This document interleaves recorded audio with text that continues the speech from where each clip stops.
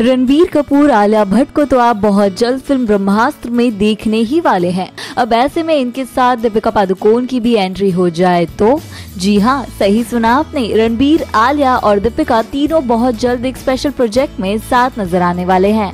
और ये special project कुछ और नहीं, बल्कि एक एंटरटेनमेंट वर्ल्ड टूर होगा, जहाँ ये तीनों एक ही मंच पर करेंगे साथ में परफॉर्म खास बात यह है कि इन तीनों को साथ लाकर एंटरटेनमेंट का जो आइडिया है, एक बड़ी इवेंट कंपनी का है। इन्हें साथ लाने के भी दो बड़े रीजन है। एक ये कि तीनों बहुत बड़े बॉलीवुड सुपरस्टार्स हैं, साथ ही रणबीर, आलिया और दीपिका, इन सब की पास लाइफ एक दूसरे से जुड़ी हुई है। और इस तरह की केमिस्ट्री को देखना हर कोई खूब पसंद करता है। इस खबर की ज़्यादा डिटेल्स तो सामने नहीं आई है, लेकिन इतना तय है कि इस टीम को आप वर्ल्ड टूर पर नए साल की शुरुआत में देख सकते हैं।